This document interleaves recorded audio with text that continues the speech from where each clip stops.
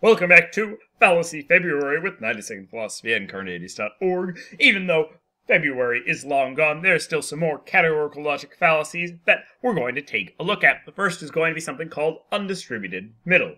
This is going to be a fallacy that occurs whenever Rule 1 for categorical syllogisms is not followed, or whenever a categorical syllogism breaks Rule 1.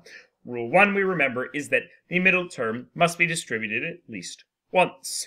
Check out my video on that if you're confused. Examples of this fallacy will be figure 2AAA. All horses are quadrupeds. All dogs are quadrupeds. Therefore, all dogs are horses. I've highlighted the distributed terms in red, and we can see that the middle term, quadrupeds, never gets distributed, and clearly this is an invalid argument. Undistributed middle. Figure 4, AOO. All singers are musicians. Some musicians are not stoners. Therefore, some stoners are not singers. Once again, we will notice that the middle term musicians does not get distributed, even though it seems that all the other terms do. Once again, therefore, this is going to be a case of undistributed middle. Undistributed middle is the fallacy that goes with rule 1.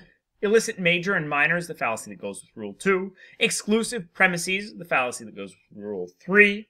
Affirmative from a negative and negative from an affirmative are the fallacies that are going to go with Rule 4. And of course, the existential fallacy goes with Rule 5.